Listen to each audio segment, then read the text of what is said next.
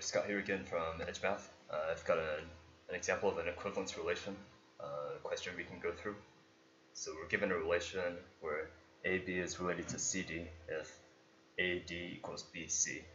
We want to see if that satisfies the three properties. So we need to check it's reflexive, which means that if it's AB related to AB, um, then symmetric. Uh, if AB is related to CD, then is CD also related to AB?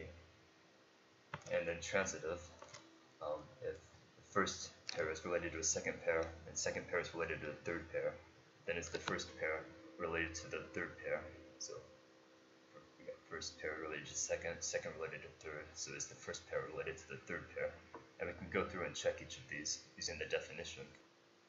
So we can just straight use the definition. So AB is related to AB, that means the that would be if the first and the fourth and the second and the third multiply to get the same thing. So that would be A times B equals B times A. And that's certainly true. So so it's reflexive. Is it symmetric? Um, if AB is related to CD, that means AD equals BC. Then is CD also related to AB, which would mean is CB related or equal to DA. And you can see that these are just this is just written in reverse order. AD equals BC. We can flip that around to CB equals DA. And so that's certainly true um, if we're dealing with real numbers. And then finally, is it transitive?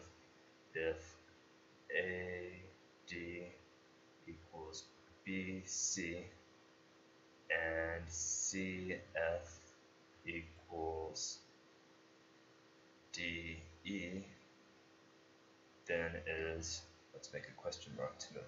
We need to verify this, is AF equal to BE.